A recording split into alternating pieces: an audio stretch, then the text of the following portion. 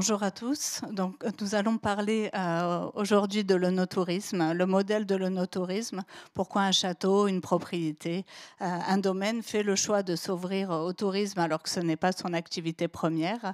Avec euh, aujourd'hui avec nous donc Brigitte Tribaudot de Château Mauvinon, Saint-Émilion Grand Cru, Audrey Normandin de la maison de cognac Normandin-Mercier. Bonjour et euh, Aurélien Gromot, donc de la direction du tourisme de la région Nouvelle-Aquitaine, qui nous apportera un éclairage aussi sur euh, comment s'ouvrir au tourisme, justement.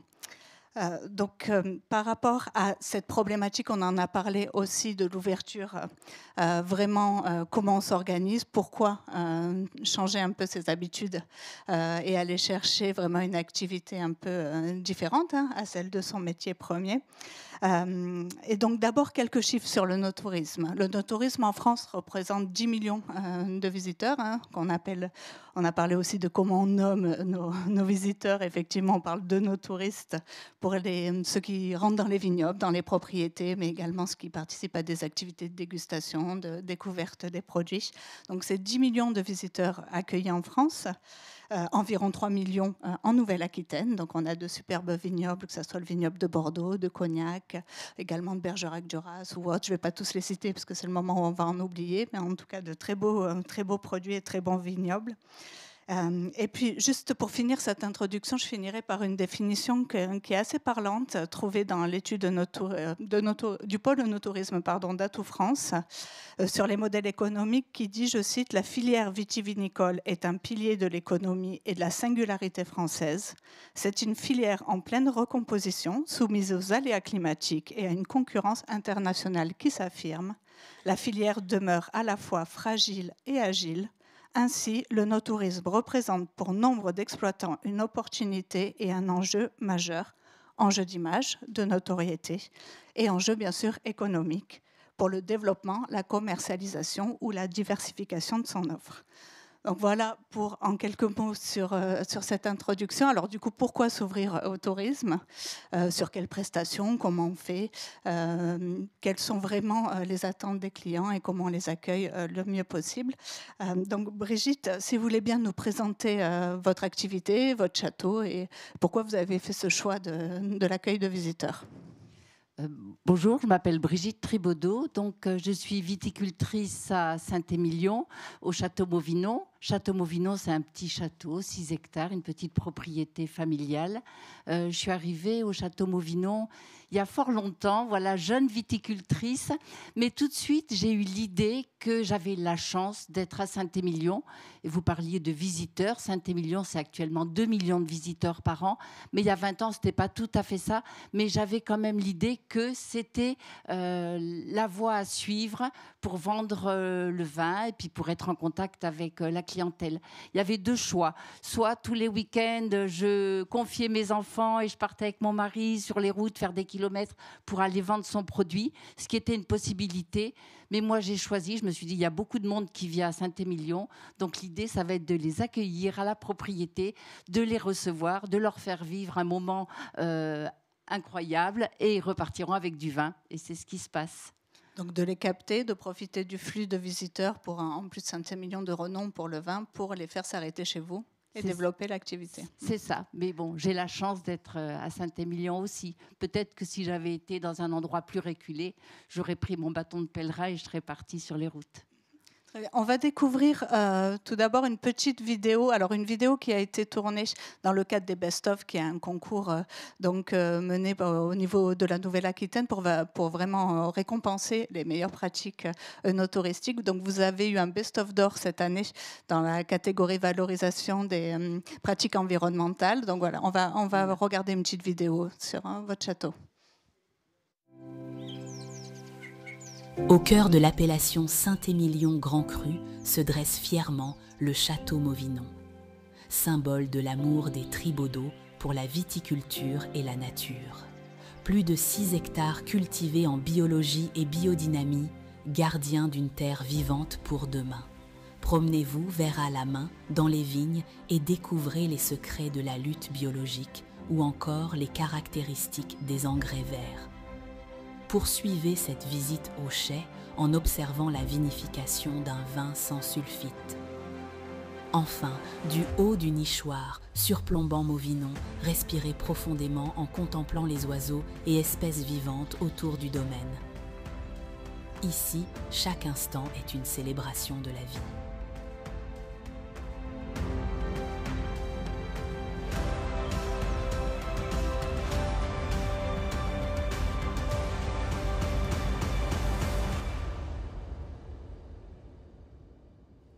Très jolie vidéo. On parlera tout à l'heure ensemble des visites que vous proposez. Un grand merci à la Chambre de commerce et d'industrie de Bordeaux voilà, pour cet événement euh, qui, qui nous fait très plaisir. qui met bien en lumière, en tout cas au niveau de la Nouvelle-Aquitaine, toutes les, les, jolies pratiques qu'on trouve dans le no-tourisme. Euh, avant de parler des visites, justement, vous nous raconterez un peu ce, qu'on vient de voir à l'écran. Euh, on va faire connaissance avec euh, la maison de cognac Normandin Mercier, donc avec Audrey. Et puis, ben, une fois n'est pas coutume, on va lancer une petite vidéo du domaine, du domaine pardon, et on vous laissera la parole après.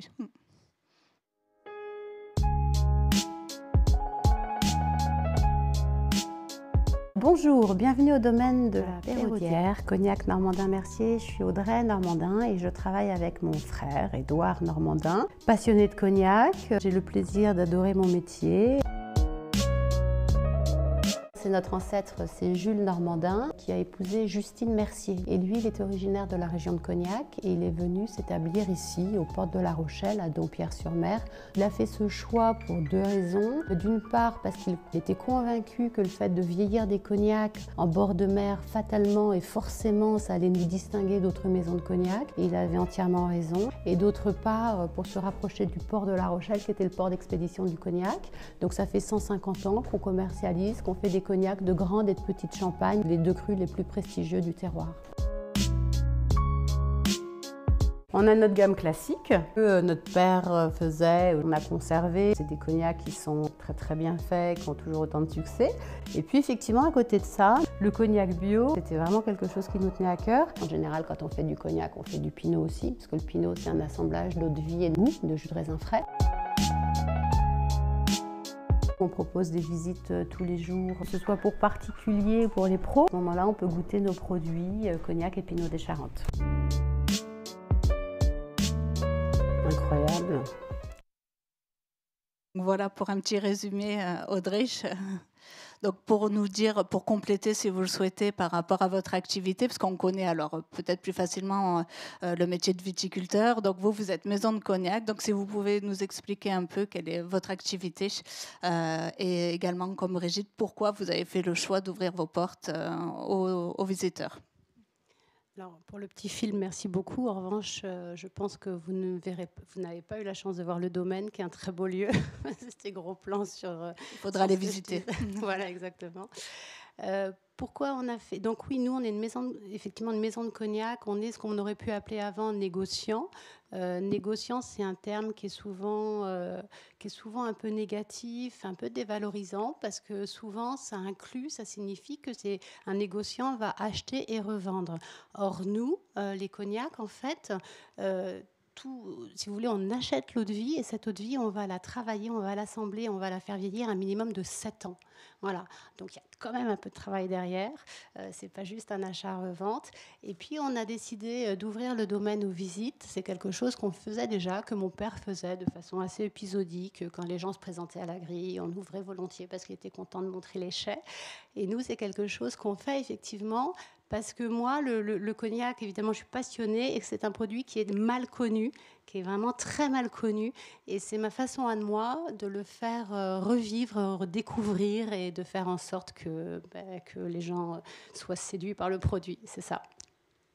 Donc effectivement, vous ne travaillez pas le raisin en tant que tel, mais vous faites découvrir tout le pan des savoir-faire liés au, au, produit, à la distillation, à, vraiment la production du coup de vos, différents cognacs par rapport aux visites que vous proposez. Ça nous fait la transition sur, sur euh, l'accueil des visiteurs et comment vous abordez un, visiteur qui vient vous voir, une famille, un, groupe.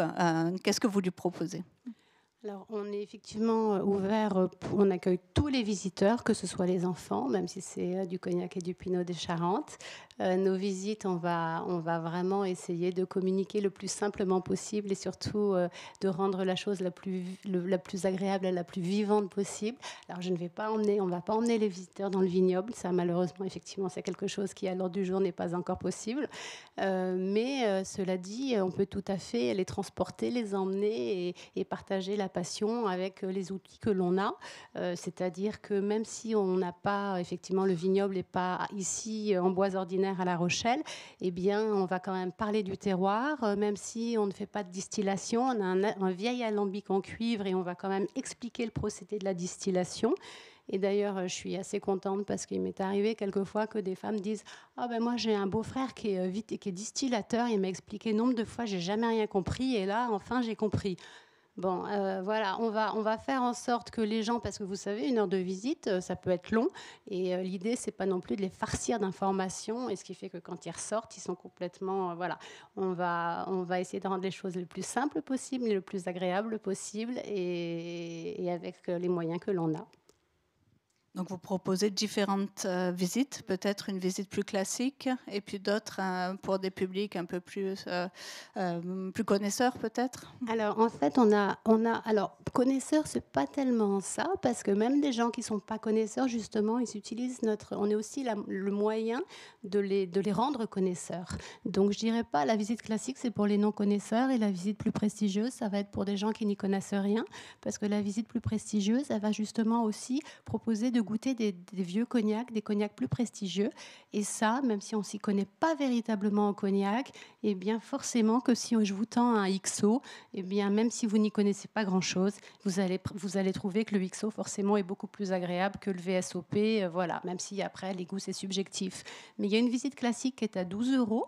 Et, euh, et, une visite plus prestigieuse, effectivement, à 30 euros. Puis après, c'est un peu à la carte en fonction des qualités qu'on va goûter. on peut obtenir des visites à 50 ou 60 euros, etc.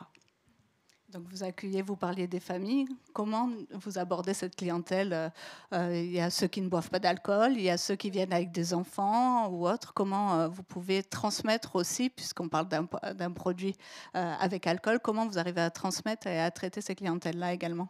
Alors oui, on s'adapte effectivement à tout type de visiteurs. C'est-à-dire que les enfants, on va essayer de capter leur attention et justement de leur montrer, de leur faire toucher. Moi, je leur fais manipuler la pipette dans le fût et tout ça pour les intégrer vraiment, parce que sinon, les pauvres, ils sont là pendant que papa et maman euh, s'extasient. Et puis eux, euh, non, moi j'ai le souvenir enfant quand mes parents nous emmenaient dans des châteaux et que ça durait trois plombes et que voilà, on se disait, oh mon Dieu. Euh, donc l'idée, c'est quand même de les inclure un maximum et qu'ils aient aussi le sourire. Et, voilà. Et puis on a aussi les, les, accueils, ça peut être des visiteurs. Une fois, je me souviens, c'était une dame, elle était sourde et donc il fallait parler comme ça pendant. Je veux dire, on va s'adapter. On n'est pas sur du gros, on est des petits groupes et on est vraiment à l'écoute de chacun et on fait le, mieux possible. Merci.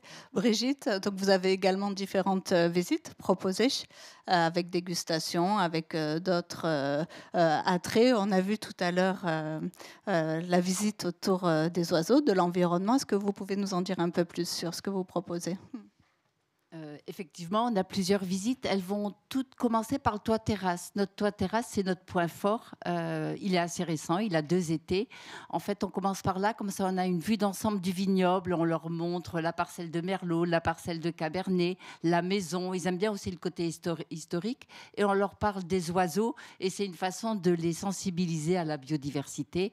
en été, on a des jumelles sur les, sur les tables et les visiteurs peuvent regarder. Euh, essayer de reconnaître les oiseaux, les comptabiliser. Voilà, derrière nos, fiches, on a différents oiseaux. Euh, ça, ça plaît beaucoup. Euh, en fait, l'idée, c'est de faire vivre une expérience aux, visiteurs, pas seulement de lui parler technique, et, mais c'est de, bah, de faire de cette visite un moment incroyable dont il se souviendra toujours. Et en général, ils repartent, bah, ils repartent, ils se sentent un peu amis de la famille euh, parce qu'on les reçoit le mieux possible. Euh, donc cette visite euh, avec les oiseaux, mais en fait on a plusieurs visites. On en a une qui s'appelle Vin, écologie, nature. Et l'idée c'est de se promener dans le vignoble, au chai et à la salle de dégustation avec un verre. Donc on a à chaque moment un verre différent, un verre de blanc, un verre de rouge ou un verre de Saint-Émilion Grand Cru pour terminer. Voilà, on s'adapte aussi beaucoup à la clientèle. C'est important. Je crois que c'est la principale chose. On a des gens qui sont très curieux. Ils vont poser des tas de questions et une heure, ça va pas être assez long. Euh, et puis il y en a, bon, on voit qu'ils sont là pour euh, en fait euh, juste déguster un verre de vin tranquillement et apprécier le moment. Donc il faut savoir aussi répondre aux exigences de la clientèle. Très bien. On, euh, Audrey nous a parlé du prix pour la première euh, visite, euh, tour et dégustation. on a évoqué également tout au long de la journée la visite gratuite ou pas gratuite mm. par rapport à la, source de revenus que ça génère aussi et du temps passé, vous, par rapport aux visites, comment vous procédez? Alors, moi, il y a 20 ans, je faisais tout gratuit parce que je voulais attirer un maximum de personnes. Voilà, je voulais euh, avoir des avis sur Google. Donc, je recevais beaucoup de monde gratuitement. Et puis, un jour, je me suis dit, bon, ben, Brigitte, tu vas t'épuiser. Et puis, finalement, le fait de faire payer la visite, ça donne de la valeur aussi à notre travail.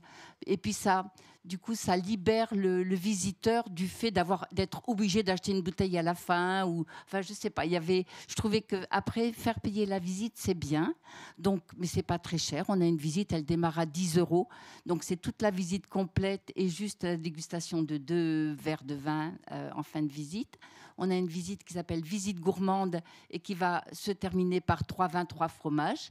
Et puis on a la vin euh, écologie et nature euh, qui est à 17 euros et qui comporte trois vins et qui dure un peu plus longtemps parce qu'il dure un peu plus longtemps parce qu'on passe vraiment euh, de longs moments dans le vignoble, au chai. Voilà. Très bien. Donc vous avez une boutique? Bien sûr. On a, alors, on appelle ça un peu pompeusement notre salon de dégustation. L'idée, c'est que pendant euh, de longues années, j'ai fait ça à la maison, dans ma cuisine ou au salon, parce que j'avais pas de réception. Et donc, euh, ben, on s'est dit, les gens, ils adoraient parce que les Américains aussi regardaient les vieux, les vieux meubles de famille. Donc on s'est dit l'idée c'est de recréer la même ambiance, mais dans une salle, dans, un salon moderne. Et donc on appelle ça notre salon de dégustation. Il n'y a pas beaucoup de bouteilles euh, exposées et il n'y a pas beaucoup d'objets, de goodies. Euh, c'est vraiment vous êtes ici comme chez vous, passez un bon moment. Il y a un petit coin pour les enfants où ils peuvent s'amuser. Il y a un vieux canapé. Et notre salon de dégustation, l'idée c'était de faire du, recyclé, de l'upcyclé. Donc, euh, on a une vieille euh, porte-fenêtre euh, d'un appartement bordelais qui a été grattée. Et puis autour, on a fait en, moderne une bibliothèque. Et puis, on a un bar qui est en plastique recyclé. Donc, c'est des bidons plastiques qui sont compressés et ça émet du, le terrazzo, le marbre, avec un bar qui est en, en je ne sais pas si vous connaissez le lati. Dans le temps, les plafonds, ils étaient faits en lati. Maintenant, c'est tout est en placo. Mais voilà, donc l'idée. Puis le vieux canapé, c'est un vieux canapé que j'avais à la maison, qu'on a retapé. Voilà, c'est. Et par rapport aux visiteurs euh, que vous accueillez, est-ce que vous voyez en boutique, parce que vous faites, euh, vous avez peut-être une boutique pour les visiteurs de passage, et puis ceux qui consomment une expérience euh, œnotouristique, touristique, est-ce que vous voyez sur les ventes, les résultats en boutique, vraiment un attrait plus, un, plus important ou vraiment des ventes un peu différentes en fonction de ceux qui ont appris à découvrir euh, votre vin euh, ou ceux qui, passent et, euh, pour, pour acheter une bouteille. Hmm. Alors c'est vrai que quand on a passé une heure avec des, visiteurs, qu'on leur a expliqué notre façon de travailler, où tout est, on fait des vins d'artisans, tout est cousu main, on fait tout à la main, on fait des vins sans sulfite, donc il y a un vrai travail. Et quand on passe une heure à leur expliquer tout tout notre travail et la passion qu'on y apporte, ben, ils repartent avec du vin forcément. Et puis ils se disent, ben oui, vraiment, ce vin, il, vaut. Il vaut cet argent-là. Parce que souvent, ben, au départ, 24, euh, 25 euros, enfin le prix qu'on vend, euh, nous, euh, Château Mauvinon, ben, ça peut paraître cher. Mais quand on voit tout le travail qu'il y a derrière, ben, c'est pas cher du tout. Voilà, ça les vaut. Vous nous expliquez que ça avait été un choix dès le début, hein, au lieu de faire euh, les foires euh, ou autres, vous avez profité du flux naturel qui passe sur euh, Saint-Émilion pour faire vos ventes comme cela. Donc pour vous, c'est un vrai objectif de vendre en boutique. vous m'aviez expliqué que c'était vraiment quelque chose pour vous qui, qui faisait partie de votre stratégie à la propriété. Exactement. Alors, puis moi, l'idée, c'était de rester avec mes enfants, ma famille, et c'est toujours le cas. Donc on a créé vraiment au Château Mauvinon une ambiance familiale familiale que le, visiteur aime rencontrer. Il y a souvent le petit dernier dans le couffin, ou voilà, ou ma fille qui m'a rejointe, euh, ça fait quatre ans, Jean-Édouard qui est très présent aussi, qui vient m'aider. Euh, il y a vraiment cette ambiance familiale, et c'était plus facile plutôt que de prendre euh, la route, d'être là, et le client s'y retrouve et il passe un bon moment. C'était, c'est surtout ça l'objectif.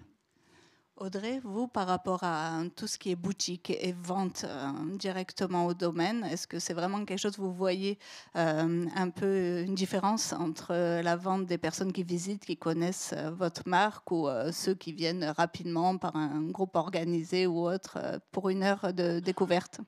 Alors oui, clairement, après avoir reçu les gens, les gens effectivement sont, ont apprécié le produit, ont apprécié le lieu et en général ils ont vu quand même une bonne partie de l'équipe euh, parce qu'on est une petite structure, on est cinq personnes au total, donc on n'est pas sur des gros groupes et tout.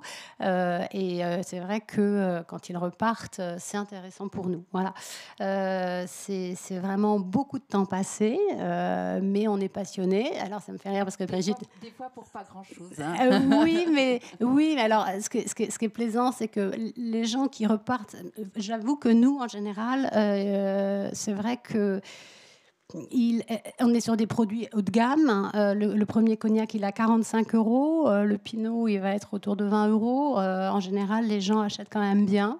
Et, les rares fois où les gens n'achètent pas grand-chose, à ce moment-là, je leur dis Oh, mais n'hésitez pas à mettre un petit commentaire, euh, chose qu'au début, j'aurais jamais imaginé, j'aurais jamais osé dire. Et en fait, après, on prend le pli. Et, c'est vrai que bah, finalement, je me dis, les commentaires après positifs sont aussi euh, valables. Et c'est, parce que les gens regardent en disant, bah oui, euh, vous êtes très bien noté, du coup, effectivement, on est venu. Bon, tout ça, c'est, important aussi. Mais c'est vrai que c'est, vous disiez, le, choix de rester, de profiter de la famille. Clairement, sur ces périodes-là, moi, entre le 1er avril et le 31 octobre, si j'ai eu quatre week-ends pour moi.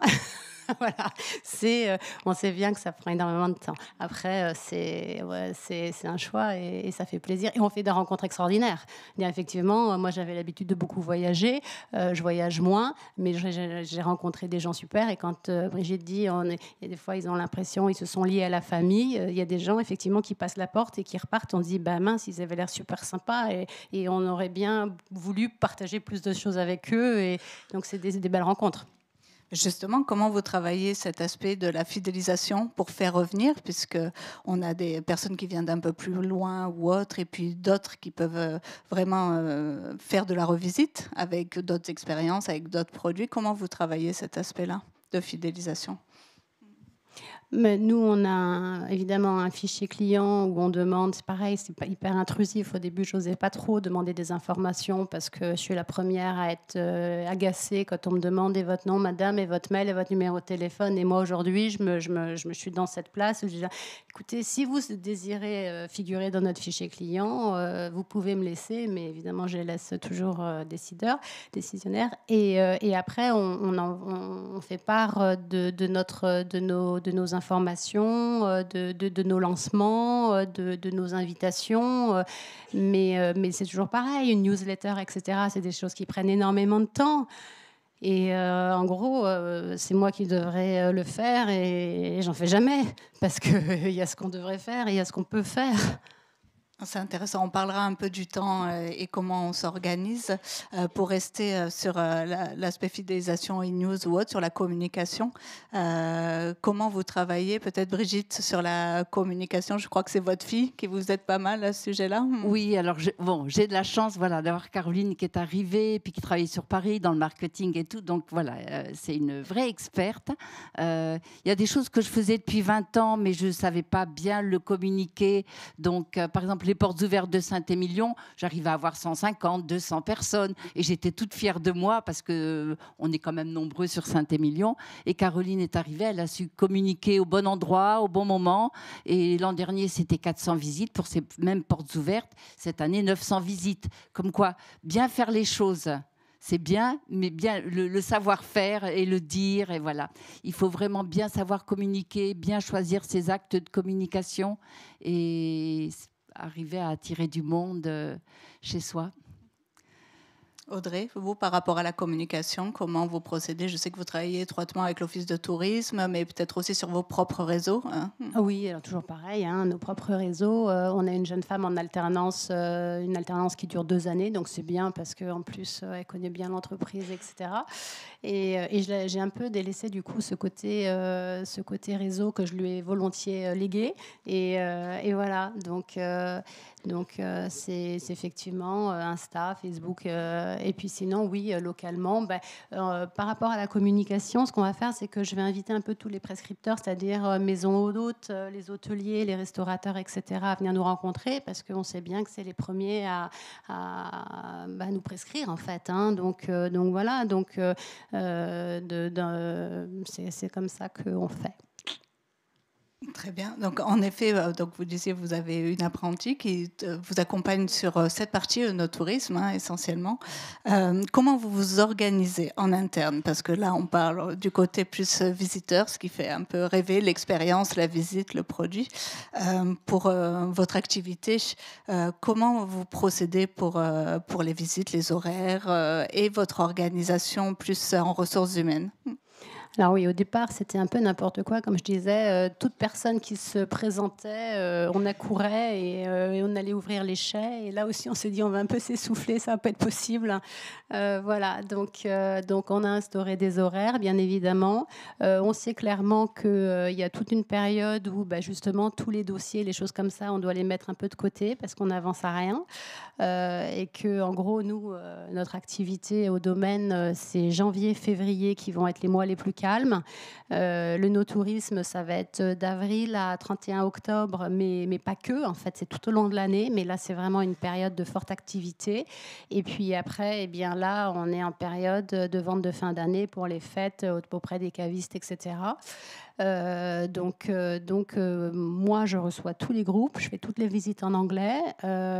effectivement, on a la chance de travailler avec de belles agences. il est arrivé qu'il y ait des jours où bah, c'était 200 personnes à la journée. Et donc, euh, en gros, euh, oui, euh, quatre groupes de 50 personnes. Et le quatrième groupe, il ben, ne faut pas qu'il ait l'illusion d'avoir quelqu'un de complètement éteint devant lui. Donc, on essaye de trouver toujours le même dynamisme et de faire comme si c'était la première visite qu'on faisait. Et, et, donc, voilà. Donc, effectivement, ce rôle de perroquet, ça peut être un peu ingrat, mais mais il faut vraiment avoir à cœur de le faire. Et puis derrière, comme disait Brigitte, là aussi, il y a des, je veux dire, c'est, c'est, des ventes qui vont, qui vont aboutir. Et ça, eh ben, il n'y aura pas de besoin de, prospection, euh, de frais annexes, de déplacement, euh, euh, de relance. je veux dire, les gens arrivent. Alors, idéalement en autocar, hein, parce que les gens qui voyagent qui, par, par avion et qui sont un peu restreints, bon, c'est moins facile. Mais en autocar, et puis, enfin, je veux dire, avec leur véhicule, et puis là, évidemment, euh, ils, achètent, euh, et c'est pas négligeable du tout, quoi. Merci. Alors vous, Brigitte, vous travaillez du coup sur l'accueil avec votre fille. Vous êtes toutes les deux euh, du coup dédiées, ou en partie en tout cas, à l'accueil des visiteurs. donc c'est plus une histoire de famille sur oui, on se fait aider quand même. Hein. On a une stagiaire ou deux stagiaires chaque année qui prennent aussi une part des visites parce que c'est vrai que bon, il faut pas s'essouffler, il faut avoir toujours la même énergie, mais on y arrive euh, parce que c'est jamais la même chose. C'est jamais la même chose qui se passe avec le client euh, euh, qu'on a en face et eux, ils nous envoient des bonnes ondes, du dynamisme. Ils sont contents d'être là. ils sont en vacances souvent ou en week-end, donc ils nous envoient que des bonnes ondes. Donc c'est facile derrière de de s'adapter, de, s'adapter, de garder ce dynamisme-là. Alors c'est un investissement RH, on vient d'en parler, parce qu'il faut s'organiser hein, pour cette activité-là. Alors moi j'ai retenu quelque chose sur notre échange pour préparer cette, cette table ronde. Vous me disiez par rapport aux investissements que vous avez pu faire, puisque bien sûr on verra tout de suite après avec Aurélie pour vraiment le plus le, la partie plus opérationnelle BABA de l'ouverture au tourisme. vous avez fait un choix, au lieu d'acheter de la vigne, vous avez préféré, vous, euh, un peu faire votre, parfaire en tout cas l'accueil, l'espace d'accueil pour les, pour les visiteurs, euh, pour avoir un espace vraiment dédié et adapté à cette clientèle. Surtout quand on voit les années, enfin, pas dire les mauvaises années, ils sont tout le temps en train de se plaindre, ces viticulteurs, mais on a eu quand même quelques années difficiles. Et si on met tous les œufs dans le même panier, ben on risque de ne pas s'en sortir. Donc en, élargissant et en ouvrant nos portes, nos chais euh, euh, à, à l'œnotourisme, je pense qu'on tient la la bonne ficelle, enfin le bon bout. Très bien. Voilà, oui. Merci beaucoup. Alors Aurélie, Aurélie, euh, sur vraiment cette, euh, à quoi il faut penser, comment on, peut résumer tout cela quand on veut s'ouvrir euh, au tourisme, quelle est la législation ou quelles sont vraiment les, les bons, bonnes pratiques ou à quoi faut-il penser d'un point de vue aussi marketing comme accueil des visiteurs? Bonjour. Déjà, je pense qu'on a déjà deux, deux, exemples qui sont euh, assez intéressants, puisqu'en fait, euh, le choix d'ouverture dès le démarrage, là, le choix aussi d'aller sur des publics un peu différents avec des visites différentes. Donc, c'est intéressant déjà de voir les, souhaits. Euh, la première étape, si on peut décliner en 4-5 étapes l'ouverture au public. La première, d'abord, c'est de réfléchir à son projet. quelles, sont mes motivations? Pourquoi j'ai envie d'y aller? Quels sont les objectifs? Est-ce que j'ai envie, en effet, d'avoir des compléments de revenus et de ne pas mettre les œufs dans le même panier, si je reprends l'expression? Est-ce qu'on met le schéma ben, pourquoi pas On peut mettre euh, le, on avait, voilà, j'avais proposé un, petit schéma très, très, très pratique, très pratico-pratique qui permet d'avancer un peu dans les étapes. Vous voyez, hein. euh, c'est juste euh, ne rien oublier dans, dans, le, schéma. Il y a, peut-être d'autres étapes qui sont à compléter, mais au moins celle-ci. donc sur le premier sujet, qui est de réfléchir à son projet, de comment, comment je, motive mon envie d'ouvrir au public. Est-ce que je veux des compléments de revenus? Est-ce que je veux faire parler de ma marque, parler de mon produit Est-ce que j'ai envie d'abord peut-être une opportunité? Est-ce que j'achète des vignes? Est-ce que je rénove ou, je crée un bâtiment spécifiquement euh, peut-être ces sujets-là qui, sont intéressants à savoir. Euh, l'envie aussi, euh, quels sont les moyens RH que, dont je dispose, quelles sont mes motivations personnelles, celles de mon personnel éventuellement aussi que je peux mobiliser sur ce sujet-là. Ça, c'est déjà un point important qui, a, à avoir avant toute chose, avant vraiment à l'étape réflexion du projet. Ça, c'est un point important. sur la partie définition du projet aussi, ça me semble important, et je pense que vous l'avez fait également, c'est d'aller voir ce qui se passe chez les autres. vous avez forcément des partenaires, des concurrents, des voisins plus proches ou, plus loin euh, sur le territoire qui ont ouvert au public, qui proposent des produits différents, des, choses, euh, en effet, hein, le vin, euh, vin, vignoble, écologie et nature. voilà, c'est un produit qui sort a priori de l'ordinaire et c'est vrai que certains ont, dû un peu peut-être regarder ce que vous faisiez à leur tour. Donc c'est intéressant, je pense, de voir ce qui se passe sur d'autres territoires pour prendre des idées, sachant que l'idée, c'est pas de faire un copier-coller de ce qui se passe ailleurs. Hein. C'est vraiment quels, sont d'abord, on se base toujours, hein, quels sont les produits que je vends, quels sont les produits que je vends et, donc quelle est la visite que je veux en face. Hein. Euh, c'est important d'adapter ces, sujets-là. difficile d'ouvrir euh, son, domaine ou son vignoble et de proposer des typologies de visite qui ne correspondent pas forcément à la cible clientèle ou aux produits que vous avez euh, ensuite en, boutique, en magasin.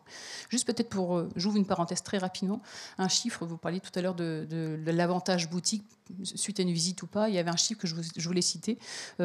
lorsque des clients arrivent sur une boutique sans avoir fait de visite, on estime que, quand il y a une visite euh, et une boutique au bout, on estime qu'il y a plus 30% en fait, d'achats boutique quand il y a une visite au préalable. Donc en fait, ça, confirme ce que vous disiez tout à l'heure, hein, c'est important à garder en tête. Euh, donc ça, c'était peut-être la première phase, euh, la phase un peu esquisse, réflexion, et puis peut-être une deuxième phase qui est la phase de conception qui est parfois longue, le temps de réfléchir son projet, de, savoir quels sont les moyens humains, les moyens financiers, techniques, euh, à, mettre en, à mettre en œuvre euh, des études, études de marché, études de clientèle, pourquoi pas, études de faisabilité. Euh, si on a du bâtiment qui convient bien, peut-être de la restauration de bâtiments, de la construction de bâtiments, d'extension, en fonction des possibilités qu'on peut avoir sur le site ça, c'est un point, à mon avis, non négligeable. Il y a quand même pas mal d'éléments à voir. Le sujet de la réglementation en est un également. On a entendu ce matin, je, vais le rappeler peut-être, dès lors qu'on s'ouvre à la visite, dès lors qu'on accueille du public extérieur au, personnel de, l'exploitation, on est soumis aux, aux normes d'accessibilité, sécurité incendie, sécurité, enfin accessibilité, établissement recevant du public. Donc ça, c'est un point important. Tous les lieux qui accueillent, hein, la partie accueil, la partie boutique, euh, le parcours scénographié, c'est un parcours scénographié. Sauf quand on est dans les, dans les lieux de production. Et là, en effet, on l'a dit tout ce matin, mais c'est vraiment le code du travail qui s'applique avec euh, une réglementation un peu spécifique. Mais c'est important à entendre. Et puis, euh, de l'autre côté, j'ai eu plusieurs fois, moi, les questions à la direction du tourisme sur, des porteurs de projets, sur la possibilité, la, fiscalité, en fait, qui est liée à l'ouverture. Et parfois, on se dit, est-ce que je dois créer une, une seconde société? Est-ce que je peux l'adosser sur ma société production? Donc, en effet, euh, on l'a entendu un petit peu ce matin, des, quelques chiffres qui sont, qui sont apparus. Dès lors que le, chiffre d'affaires qui est réalisé dans le cadre de la visite et, de la boutique en direct est de moins de 30%, ça s'adosse aux revenus de, de, l'exploitation. Donc ça, c'est assez classique. Et on est rarement de là. Ce matin, on a parlé de 12%, enfin, à un moment donné, on a parlé de 10-12%. Donc je ne sais pas quelle, est la partie chez vous, mais euh, généralement, on est bien en, en, deçà des, des 30%. Donc voilà, ça c'est assez classique, c'est plutôt euh, ça s'adosse, mais bon, vous avez des, experts comptables qui vous accompagnent sur le sujet. Par rapport aux aides, comment on peut faire? Qui on va voir pour euh, être soutenu dans son projet d'ouverture? Alors il y a plusieurs, vrai y a plusieurs pistes en fait. Généralement, on a, on a, euh, il y a des pistes naturelles, soit la, chambre d'agriculture quand on travaille facilement avec la chambre d'agriculture, ou, quand c'est le réseau assez classique. On peut avoir aussi euh, qui peut, qui peut accompagner au montage du projet et puis ensuite renvoyer vers des partenaires financiers euh, publics ou privés. on a aussi les, réseaux, toutes les filières professionnelles, les, syndicats de, production de vin qui connaissent largement, les collègues viticulteurs qui ont aussi peut-être fait le parcours du combattant avant vous.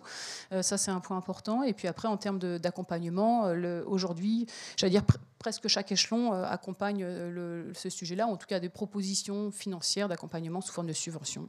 je pense, alors si on remonte du plus grand au plus petit, si on fait une espèce d'entonnoir, mais voilà, si on part de l'Europe avec les, fonds leaders sur le, le, FEADER et puis les fonds leaders, si on est sur le, niveau de l'État, France Agrimaire propose aussi des accompagnements sur, sur les ouvertures au public, notamment sur la diversification d'activités. Euh, les fonds régionaux. La région, propose, on a, la, région propose deux dispositifs spécifiques. Un sur la partie aide au conseil, qui est justement comment je définis mon projet, comment je mets en place ce projet d'ouverture au public. On peut accompagner sous, forme de subvention cette partie-là. Et puis une seconde subvention sur de l'investissement, euh, sur les travaux justement. Comment je crée mon parcours, quelle scénographie, quelle signalétique, etc. Ça, c'est des dépenses qui sont accompagnées par la, par la région sous forme de subvention également. On a aussi des départements qui financent, qui ont. Alors c'est vrai que là c'est sur Nouvelle-Aquitaine, 12 départements, je ne pourrais pas faire l'état des lieux pour chacun d'entre eux, euh, mais en tout cas, j'en connais deux qui ont des accompagnements spécifiques sur le sujet de l'onotourisme. Et puis après, à l'échelle euh, plus locale, des, des EPCI, des comités de communes ou des comités d'agglomération proposent aussi des accompagnements, des financements sur ces sujets-là. Euh, là aussi, alors le, Libournais, par exemple, le fait, le, le Bergeracois le fait également. Voilà, on a quelques, quelques collectivités comme ça qui accompagnent sur, sur l'ouverture au public et qui peuvent donner un petit coup de pouce financier pour, pour finaliser le tour de table. Alors en effet, hein, souvent l'étape euh, euh, d'aide bancaire, on parlait ce matin des banques, est-ce que les banques suivent facilement ou pas? Même si je ne rouvrirai pas le, sujet, mais euh, c'est vrai que ça dépend du projet, ça dépend de, l'ambition, de, la rentabilité. Alors ça, c'est une partie qui est importante, je ne l'ai pas encore évoqué, mais sur les investissements, en phase des investissements, il y a, un sujet de rentabilité. Euh, de quelle manière est-ce que ce projet d'ouverture est rentable à dans, quelle durée Quel amortissement on doit y mettre euh, Quel est le panier moyen que j'estime sur chaque clientèle Combien de personnes je, compte accueillir De quelle manière, etc. Combien je vais devoir embaucher de personnes pour pouvoir couvrir ces visites Parce que du coup, il y a des coûts de fonctionnement qui sont associés quand même. Voilà, donc c'est quand même un, jeu des équilibre parfois un peu précaire, euh, les, banquiers peuvent être euh, parfois frileux et parfois plutôt enthousiastes. On a, a les, deux sujets. De se poser la question pourquoi on le fait déjà? Et aussi, euh, est-ce que c'est rentable? C'est vraiment les deux avant de se lancer dans un projet comme celui-là. C'est est-ce que c'est ce qu'on doit retenir avant tout pour se lancer dans l'aventure? Oui, alors après, euh, j'allais dire, ça va dépendre de chacune des entreprises. La rentabilité n'arrive peut-être pas à court terme, elle peut arriver peut-être à moyen terme ou à long terme. Ça peut être aussi miser sur l'ouverture au public pour, pour accueillir de nouvelles clientèles, peut-être pour fidéliser de la clientèle, peut-être pour faire euh, travailler sur l'image de marque, l'image des produits. Et, donc, on sait que ce sujet d'ouverture au public, ça contribue à ça, même si dans un premier temps, c'est peut-être pas rentable. Euh, peut-être que j'y passe beaucoup de temps et beaucoup d'énergie, j'ai pas beaucoup le temps de faire autre chose. Mais dans un premier temps, en effet, ça peut ne pas être rentable, mais ça peut l'être à, moyen terme, pourquoi pas. oui. Donc ce sujet de rentabilité est important, mais il y a le, sujet de rentabilité économique pour la viabilité de, l'entreprise du domaine viticole, mais aussi le sujet de rentabilité en termes d'investissement humain du personnel ou des exploitants eux-mêmes. Merci Aurélie. On va conclure euh, cette table ronde. Merci à, toutes les trois. Une table ronde exclusivement féminine pour de l'onotourisme. Je trouve que c'est plutôt pas mal. Merci pour euh, vos exemples en tout cas et pour euh, transmettre en tout cas cette passion pour, pour votre métier et, votre, votre maison, votre domaine. Ben, merci de nous avoir merci invités. Aurélie. Merci. Avec, merci Aurélie pour tous ces conseils. Merci à tous. Au revoir.